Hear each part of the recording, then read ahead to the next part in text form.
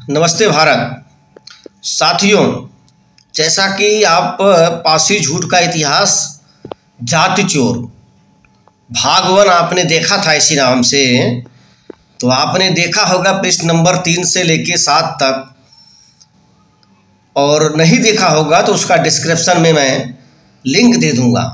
क्योंकि सही में अगर आपको ये जो आज भी झूठ बोलते हैं तो ये पढ़ना पड़ेगा, उन्हीं का जो उनके बारे में लिखा गया है, बाकायदे उनका एक जो डाटा है तो उसमें सब कुछ एकदम क्लियर ही दिया हुआ है कि इन्होंने कितना बड़ा झूठ पहले बोला था और आज भी बोल रहे हैं।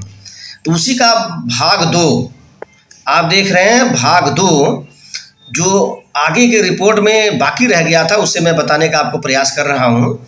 ये देखिए, फिर पासी जाति, झूठ का इतिहास, जाति चोर, भाग दो। अब आप कहेंगे कि किसी एक विशेष समाज को कह रहा हूँ तो नहीं।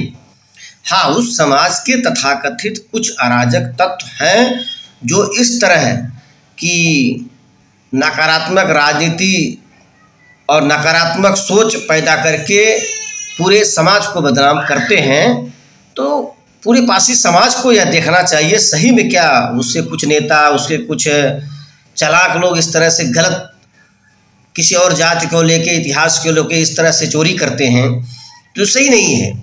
तो आइए हम देखते हैं, जैसा कि हमने आपको बताया था, इथनोग्राफी एस ये उन्नीस सौ इकसठ का जो ये लोग उसमें बताते हैं, और सेंसस ऑफ़ इंडिया देख रहे हैं ये भारत का लोगो, उन्नीस जो मैंने पहले बताया था, और, पासी, ये शेड्यूल कास्ट इन उत्तर प्रदेश, और आप देख रहे हैं, आप इस of the registrar general India, जिसे आरजीआई कहते हैं, आप सभी को पता है, ministry of home affair, new Delhi यानी जो आरक्षण का विभाग, जो आरजीआई होता है, आरक्षण का विभाग सभी आरजीआई देखता है तो ये पूरा उनके द्वारा यहाँ पे इनका डिटेल दिया हुआ है, पूरा पूरा से हिस्ट्री। जैसा मैंने आपको तीन से लेके सात नंबर तक का पहले भाग में बताया है। उसमें पूरा तरह से स्पष्ट लिखा है। इन्होंने कई जातियों को अपना बताया कि हमारी उपजाति है उपजाति है, जबकि उसमें सरेआम, खुलेआम, एकदम व्यवस्थित दिखा गया। इन्होंने झूठ बोला था और रिपोर्ट में माना गया है कि नहीं, वो गलत है। अब आगे, अब देखिए, आठ और नौ बहुत महत्वपूर्ण है। बहुत ही महत्वपूर्ण आठ और नौ नंबर में, पेज नंबर उसी का आठ है। अब देखिए, आठ में मैंने इसका हिंदी अनुवाद किया हुआ है। ऐसा प्रतीत होता है कि संदर्भ समूह से संरेखण या विभाजन सामाजिक संस्कृति विचार के अलावा कुछ सामाजिक राजनीतिक कारकों द्वारा निर्देशित फ़ील्ड जाँच के दौरान यह सामने आया। कुछ पासी अब अभिजात वर्ग ने परिधि समूह से संबंधित समुदाय के साथ घनिष्ठ संबंध बनाने के लिए हाल में ही एक प्रवृत्ति स्थापित की है। ध्यान दीजिए यह इस भावना से प्रेरित है कि ऐसा करने से राजनीतिक रूप से अधिक व्यवहार्य होंगी और परिणाम स्वरूप विभिन्न स्तरों पर अनुसूचित जातियों के लिए विकासात्मक कल्याणकारी उपायों में निर्णय लेने में उनकी आवाज़ अधिक होगी। नहीं समझे आप लोग? देखिए, यहाँ पे स्पष्ट कहा जा रहा है कि पासी समाज में उसमें लगभग अधिकांशत है एक, उनका एक अभिजात वर्ग अधिक एक उनका जो है समूह इस तरह की प्रवृत्ति खुद में पैदा की, इस ऐसी भावना उनकी जो हुई कि ऐसा करने से, कैसा जैसे किसी और जाति को अपने साथ जोड़ लेने से, किसी के इतिहास को और बता लेने से, इस तरह से ये क्या करेंगे जो अनुसूचित जनजाति में इनको जो है मेरा अधिक बल हो जाएगा। ऐसा इन्होंने एक इस भावना से यह काम किया था। इस रिपोर्ट में यह बताया जा रहा है। संभावना नहीं है कि यदि उपरोक्त कदम समय के साथ और गति प्राप्त करता है तो यही संदर्भित समुदाय के साथ घनिष्ठ संरेखण की प्रक्रिया स्थापित कर सकता है। अब देखिए, इतिहास और प्रवासन। पासियों के बीच क्षेत्र की जाँच के दौरान उन्होंने एक गौरवशाली अतीत का दावा किया। देखिए यहाँ पे किसी ने किसी ने दावा किया खुद पासियों ने एक इस तरह का दावा किया कि उनका इतिहास एक अतीत मतलब बहुत गौरवशाली रहा है। वे गर्व से अप, अपने द्वारा शासित रियासतों और क्षेत्रों की बात करते थे। खासकर अवध क्षेत्र में राजपासी वर्ग ने विशेष रूप से शासकों से अपने वंश का दावा किया जैसा कि पहले उल्लेख किया गया है, जैसा मैंने आपको ऊपर बताया, उन्होंने कैसे राजवंशी भर राजवंश, अपने को राजवंशी, फिर वापस आगे के आगे के रिपोर्ट में बताया गया है कि इन्हें कार्यात्मक शाखा के रूप में इन्होंने कैसे कहाँ कहाँ झूठ बोला, मैंने आप रिपोर्ट देख लीजिएगा लिंक में नहीं देखा होगा तो भाग भाग वन अब देखिए, राज शब्द की व्युत्पत्ति संबंधी महत्व जो शाही या राजाओं के वंश से लिया गया है। पासी ने दावा किया कि एक समय अकेले अवध में उनके बाईस मुखिया थे। उस समय जब रिपोर्ट ये सब तैयार की जा रही थी, ये इन लोगों का दावा था कि बाईस मुखिया थे। अपने दावे के समर्थन में उन्होंने कुछ ऐसे लोगों, ऐसे नगरों और कस्बों के बारे में बताया जो कुछ पासी शासकों के नाम पर रखे गए थे। इस संबंध में उनके दृष्टांत के माध्यम से उल्लेख किया है। अब देखिए, यहाँ पे रिपोर्ट में यह बताया गया है, चाहे यहाँ पे हो, चाहे वो पासी ट्राइब के नाम से हो, यानी ये जो इन लोगों द्वारा दावा किया जा रहा है, उसी को यहाँ पे लिखा जा रहा है। किसी ने इस पर मोहर नहीं लगाई है, किसी लेखक ने कि हाँ ये इनके थे, या किदवंतिया इनको कह रही या परंपरा इनको कह रही है, या कोई अन्य दूसरे लोग इनके बारे में बता रहे हो कि ये पासियों का था, ये पासी राजा है ऐसा किसी ने नहीं कहा है। ये जो इन्होंने दावा किया था, उसी दावों के यहाँ पे मतलब रिपोर्ट में बताया गया है। बस इतना ही है। अब उसी को लेकर आज ये ज़बरदस्ती आज दावा करते हैं कि कहीं लिखा गया है, लिखा नहीं गया है। देखिए, माध्यम से उल्लेख किया है कि लखनऊ शहर का नाम, लाखन राजा के नाम पर रखा गया था पक्का है, रखा गया है। लेकिन वो एक भर राजा थे। अब ये उसमें लखना पासी होने की वजह से ये लोग उसे अपना कहते हैं। और जो इन्होंने अपने रिपोर्ट में ऐसा दावा किया था, उसी दावे को गजेटियर में कह दिया गया, इसीलिए इनको लगता है कि नहीं, हमारा है। लेकिन जबकि उसमें लिखा गया है, देखिए, इनका दावा था। मलिहाबाद का नाम, राजा मुल्ला के नाम पर रखा गया है शैतान के बाद सतरिक जो है, वहाँ पे फिर बिजनौर का बोलते हैं कि बिजली, ये ये इनका दावा है, देखिए। फिर जो है, नगर मल पासी शासकों के बाद नागरम जबकि प्योर नागरम, वहाँ एक नल राजा स्पष्ट लिखा गया है कि भर राजा नल थे उनके द्वारा। ये सब आप पढ़ेंगे गजेटियर में क्लियर लिखा गया है। लेकिन ये यहाँ पे इनका एक दावा था। अपने प्राचीन महिमा के बारे में पासी के दावे को इलियट क्रूक रसेल जैसे कुछ विद्वानों द्वारा समर्पित, समर्थित किया गया है। लेकिन आगे देखिए क्या कहा जा रहा है इसी पर। क्रूक, फिर आगे इसी प्रकार क्रूक ने क्या कह रहे हैं? पूरे अवध में पासियों की परंपरा है। ये किसकी परंपरा है? पासियों में। वे देश के स्वामी थे और उनके राजा खीरी, हरदोई उन्नाव जिला सांडिला और धौररा जो है मतौली रामकोट में शासन करते थे। रामकोट जहाँ उन्नाव का बांगरमान कस्बा है, अब खड़ा है। कहा जाता है कि ये उनके प्रमुख गढ़ों में से एक था। क्रूक ने आगे उल्लेख किया है, रामकोट के पासी राजाओं में से अंतिम राजा जो है संथान ने कन्नौज के प्रति अपनी निष्ठा को त्याग दिया और श्रद्धांजलि देने से इनकार कर दिया। इस पर राजा जयचंद ने अपने गाजर देश बनफर नायकों अलाउदल को दिया और उन्होंने हमला किया। रामकोट को नष्ट कर दिया। इस खंडहरों का आकारहीन द्रव्यमान छोड़ दिया।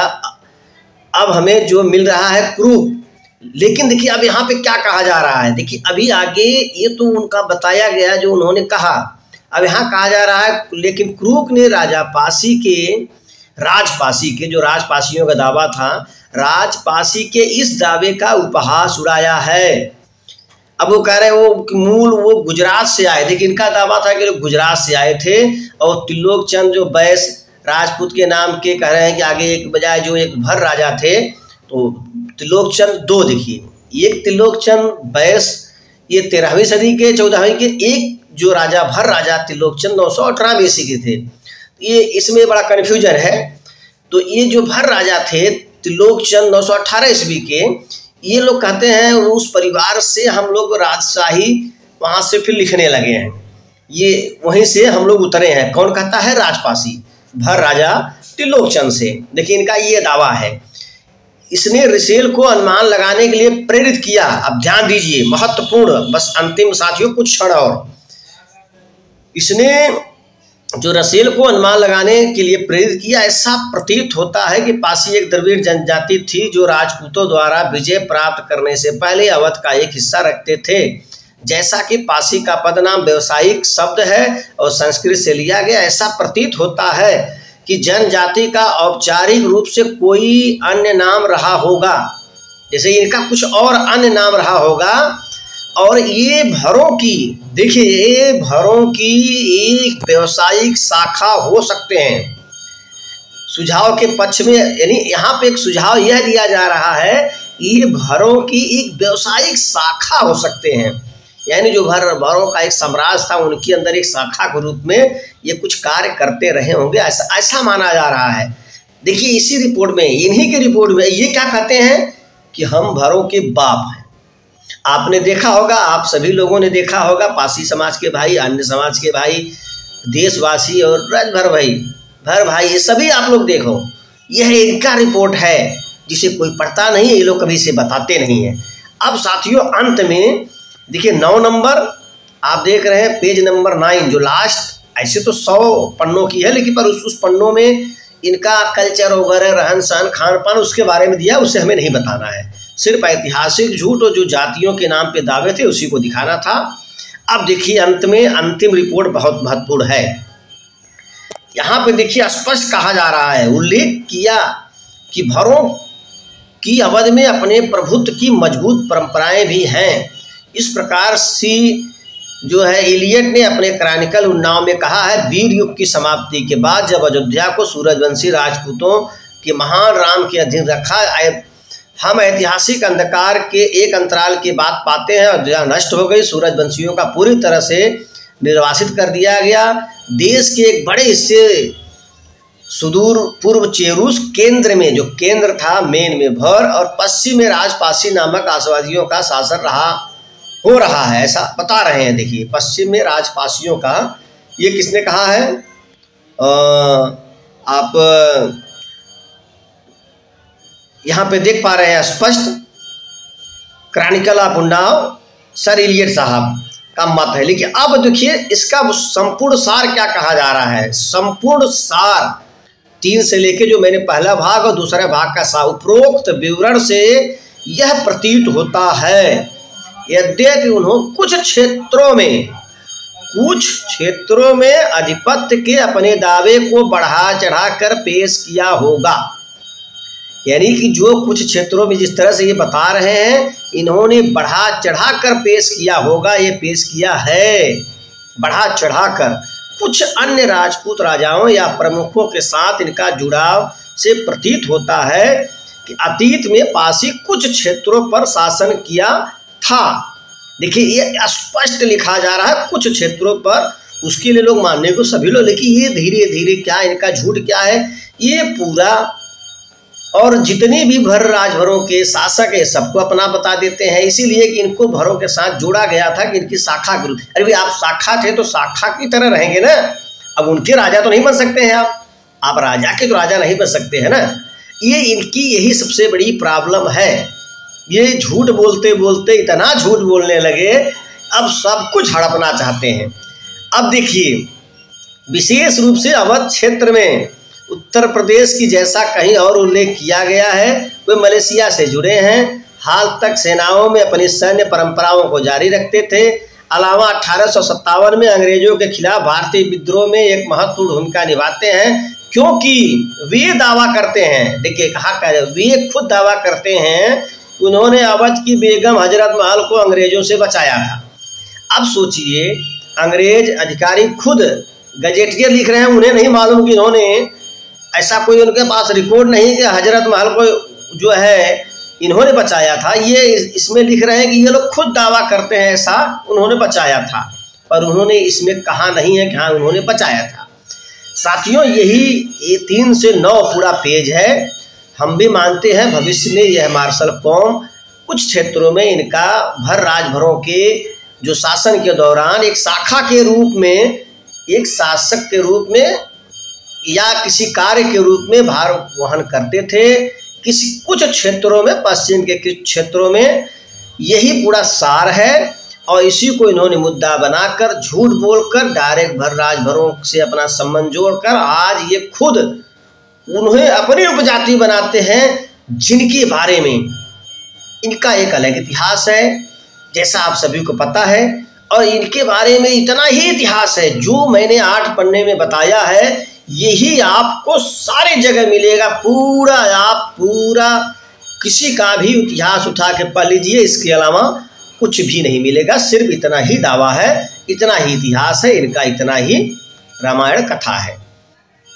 अच्छा लगा हो तो शेयर करें। नमस्ते, जय भारत।